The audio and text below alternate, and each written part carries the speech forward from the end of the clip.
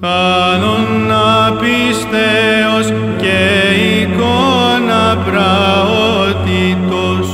εγκρατείας διδάσκαλον, ανέδειξες ετυπήμνησουν, ή των πραγμάτων